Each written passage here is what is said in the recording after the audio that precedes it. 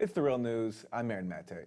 People who engage in a mindfulness practice like meditation or yoga will often speak of its benefits a better attention span, less anger, a reduction of stress, even an easing of depression. Well, a new book tackles the question of why scientifically this may be. And it argues that Buddhism offers a way to overcome the constraints imposed on the human mind by natural selection. The book is called Why Buddhism is True The Science and Philosophy of Meditation and Enlightenment. It's by Robert Wright, a visiting professor of science and religion at Union Theological Seminary in New York City. His previous books include The Moral Animal and The Evolution of God. Robert Wright is also the founder of the website Mindful Resistance, and in part two of this conversation, we're going to discuss that. But for now, we're talking about the book Why Buddhism is, True, and very happy that Robert Wright is here with us. So, Robert, welcome. Let's start with the field that you are known uh, to be an expert in, evolutionary psychology, and what it can tell us about how the human mind works and why Buddhism, um, as I said, can help us overcome some of the constraints that uh, our mind imposes on us.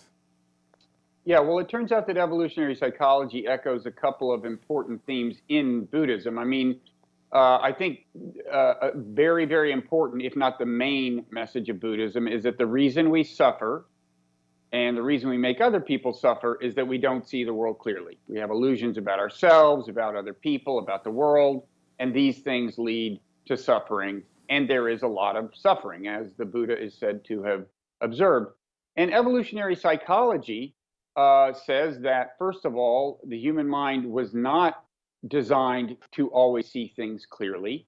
Uh, natural selection, in some cases, actually favors uh, illusions, you might say, um, because after all, all natural selection cares about, or quote quote cares about, since it's not really a conscious process, is is what traits will get an animal's genes into the next generation. And if having an illusion, having a distorted view of yourself or of other people, has helped get genes into the next generation, then distortion can actually be built into the human mind. And then the other thing that evolutionary psychology tells us is uh, it's natural in a, in a certain sense that we are prone to suffering because we're also not designed to be happy. Our happiness is not high on natural selection's agenda. Uh, because again, if being unhappy or anxious or or restless or dissatisfied has gotten genes into the next generation over time, uh, then those things will be encouraged uh, by natural selection. So we'll we'll be inclined uh, to become dissatisfied with things easily and and to want more. And gratification will tend to evaporate, as a lot of us, you know, have observed. It actually does. We may have noticed that in our lives.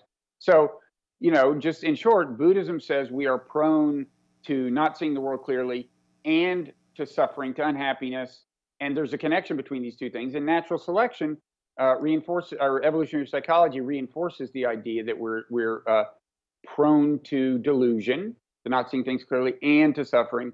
And I argue in the book that there is a connection indeed between these two things, and that we can uh, make ourselves happier and make the world a better place by trying to clarify our vision. Right, and, and you point out in the book that the part of the reason why, or a main reason why, we're prone towards seeking gratification is because we need it uh, in order to pass genes to the next generation. So, for example, if we just ate one meal and that was all for us, then we wouldn't need to eat again. Or if we just had sex once, uh, then we wouldn't need to have sex again. But the problem is that couldn't help us create uh, the next generations. That, that's right. I mean, if you imagine an animal that ate one meal and then just said, okay, I'm good, you know, and never got hungry again, never got, you know, kind of dissatisfied with things enough to go pursue more food, uh, obviously that animal wouldn't wouldn't last long. Same with sex. Uh, an animal that has sex only once is is going to get out competed by other animals of the same species. Uh, and so this this uh, seems to be why we're we're on what psychologists call the hedonic treadmill. We keep seeking more because the gratification we get never lasts, and we tend to suffer from the illusion that it will last longer than it does. Right? I mean, when you when you're gunning for some big promotion or you're thinking about some great thing you're going to buy, you're kind of focusing on on how good it's going to feel when you get it, and you're not thinking about how fast that is going to uh, that feeling's going to evaporate. And according to Buddhism, that is an illusion. That's a that's a central example in Buddhism of of an illusion. Um, now, the difference between Buddhism and evolutionary psychology is that Buddhism doesn't just diagnose the human condition; uh, it actually has a prescription. It, it offers us something to do about the problem, and and meditation is a big part of that. Right. So, okay. So, in short, we are trying to go through life using minds that are designed not for the purpose of necessarily trying to make us happy or even achieve what we want, but have a very simple purpose, which is survival for the next generation, which means that we're applying the faculties of the mind uh, towards things or, or in ways that aren't necessarily, that they weren't necessarily designed for. They were designed for a, a different purpose than maybe we're using them for. So if I have that correct, how does Buddhism help us handle that and maybe correct yeah. where where it steers us off course? Yeah. Well, first of all, you're right. I mean, there's actually two problems. One is we weren't designed to be happy in the first place, uh, but secondly, uh, the modern environment is so different from the environment that natural selection kind of designed us for that there's that things that you know there's even more suffering. So like anxiety is natural uh, and that causes suffering in a natural environment, something more like a hunter gatherer environment. But in a modern world, there's all these weird things we do that weren't part of, of a hunter gatherer environment, like give give talks in front of a bunch of people we don't know, and so on. And so th- there's even uh, there's even more anxiety. As for what meditation can do about things like this, mindfulness meditation in particular helps us develop a different kind of relationship to our feelings. So what you do in mindfulness meditation is you start by focusing on your breathing, but as your mind gets calmer, you find yourself able to kind of look at feelings that normally you would just react to. Like you feel anxiety and, and start thinking, uh, you know, oh no, th- things are, you know, things are going to go horribly, or what, what, what can I do? Can I talk myself into thinking they won't, or whatever? Once your mind is in a calm state, you, you take a different approach. Is you just observe a feeling like anxiety, uh, and if you get good at that uh, as a meditator, that takes a lot of the suffering out of the feeling. It's more like observing it, uh, you know, from a more kind of objective point of view in a certain sense. The feeling doesn't go away. You still experience the feeling, but because you're paying attention to it, it has less of a grip on you. And the same with all kinds of uh, feelings that we're often better off without, uh, you know, things like hatred, anger, envy, uh, sadness, meditation helps us develop kind of a different uh, relationship to them and be less their slave. And this sort of contradicts with an image that many of us have about ourselves, which is that we're in control of our own minds. And I was really interested by, in the book, your rendering of what the Buddhism, uh, uh, sorry, of, of what the Buddha had to say about this, about how we are not actually at all in control right. of our minds. Can you tell us about what he taught? Yeah, there's this kind of crazy sounding Buddhist idea called not self, the, which you know, which means that in some sense the self doesn't exist. And you might say, well, what does that mean? One thing it means is that our sense that the conscious self is the the big CEO, it's making all the decisions, it's creating all the thoughts. Uh, that that's actually mistaken.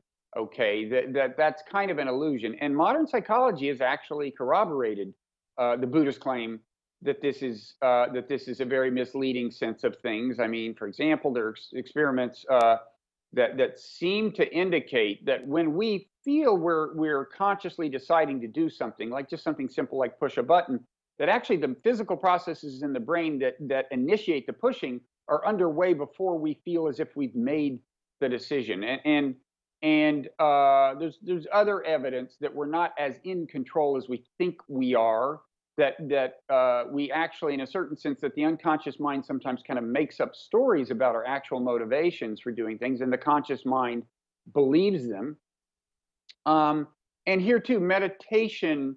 Uh, it's it's it's kind of ironic. It, it's it, meditation, in a certain sense, helps you accept that you're not in control, but in the process, helps you, or maybe I should say, quote you, according to strict Buddhist doctrine, um, be more in control. Because once you let go of the idea that that you are in charge and just do a little more in the way of kind of observing what's going on in your mind and seeing feelings and thoughts as kind of just showing up, uh, more than kind of being projected by the conscious you, uh, that actually helps you uh, lead a more kind of reflective life, a less reactive life.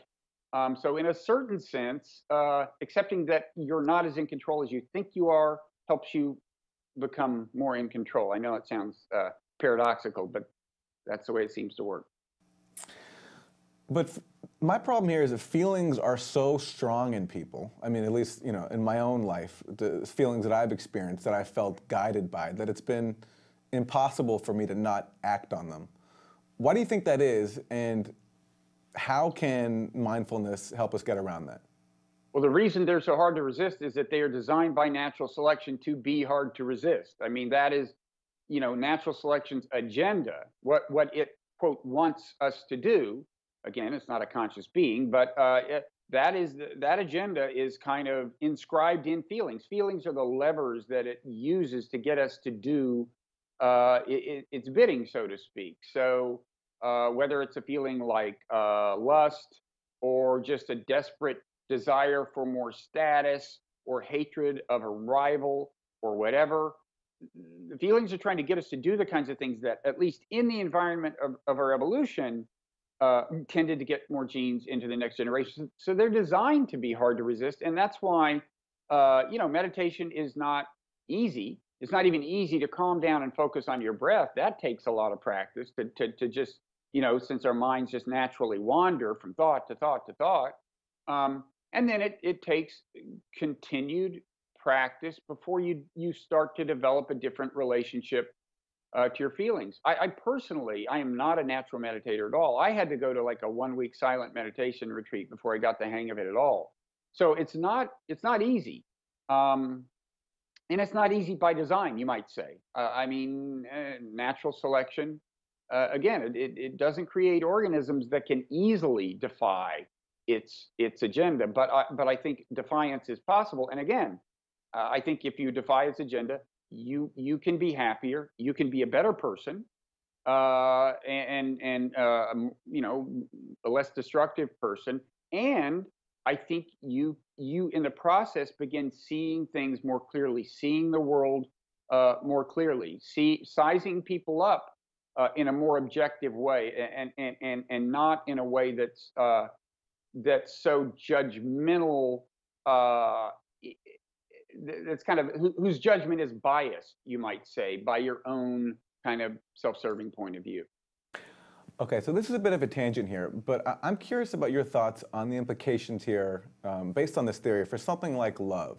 Because if sex, for example, is um, evolutionary psychology's uh, incentive for procreation, then what does that say about love? Because obviously, you know, love uh, is a good path towards procreation. I mean, the odds are that if you're in love with someone, the odds are probably higher that you're going to make a baby with them. So, is love also biology's incentive structure for uh, procreating and for getting genes into the next generation?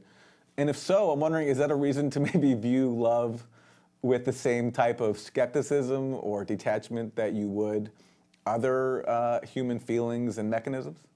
Well, first of all, I'd say that through mindfulness meditation, you can view all feelings with an initial skepticism and then decide which feelings are wholesome and leading you in a good direction and, and, and not leading you to be either unhappy or a horrible person. Uh, and, and then make a judgment about which feelings uh, you want to follow the guidance of. So, so an initial skepticism, I think, is a is a, a fine thing. Now, love, as it happens, has a lot of good properties. I think um, it can it can blind you. It's not always good in all circumstances. Uh, it can it can uh, you know it can make you do bad things. But I think uh, but it has a lot of uh, positive manifestations. And your as for your first question, uh, yes, in our species, pair bonding seems to have evolved. In other words, uh, fathers well there are fathers you might say attentive fathers you know males stick around and play a role in rearing the offspring. Not all species are like that. Not even all primate species are like that. Um, but but in a species with pair bonding, it does make sense that both males and females would have feelings that draw them into lasting attachments uh, with each other. Hmm. Um, how do you look at the sort of um, socio-economic class angle of this, if there is one? Um, in my own experience, whenever I'm comfortable in life, whenever I'm doing well uh, work-wise, whenever I'm not too busy, it's been really easy for me, or it's been way, way easier for me to meditate uh, than it has been when things aren't going so well. Mm-hmm. And, and I think, um, you know, for many people, would love to be able to have the chance to go and do a week-long retreat, would love to even have 20 minutes out of the day when they can meditate, but there are, I think, some class barriers to that. Uh, so, mm. and in my own experience, you know, just even going to mindfulness gatherings, retreats, I tend to notice that it is people who are more privileged and usually more white. Uh, I'm wondering your thoughts on that. Uh, I think that's true. There is a kind of a demographic uh, bias uh, in, in, terms of who is most likely to be a meditator, but I think that's changing somewhat. Um, I just did a, a, public event with Jon Kabat-Zinn, who, who started uh, mindfulness-based stress reduction a long ago. Uh, and one thing that did is it took mindfulness kind of out of its Buddhist context in a certain sense, so it no longer sounded so much like a religion. And when people think of mindfulness as that, as just this, you know, practical, pragmatic thing you can use, it's more likely to be accepted in public schools, in hospitals, in a variety of places. And so I think you are seeing uh, it taught in some public schools, in more and more public schools, uh, that some of which include low-income students. Um, and then separate from that, there are, uh, in, back to get back to a Buddhist context, uh, I know, for example, I'm in New York. I know people at the Brooklyn Zen Center um, sometimes uh, make a point of going into the schools as volunteers and teaching meditation to troubled kids and so on. Um, I, so I think you're you're right that that it's traditionally there's been a kind of a an upper class and you might even say politically a liberal bias. Well, uh, I, I think that it's to the benefit of the world if more and more people meditate. Um, and so I'm I'm hoping that that you know in, in the long run, uh, it, it, the practice can pervade uh, society much more evenly which is a great segue to the second part of our discussion on mindful resistance. Uh, Robert Wright is the author of Why Buddhism is True, The Science and Philosophy of Meditation and Enlightenment. Join us in part two, where we're going to talk about how mindfulness can help us in the age of Trump. Robert Wright, thank you. Thank you. And thank you for joining us on The Real News.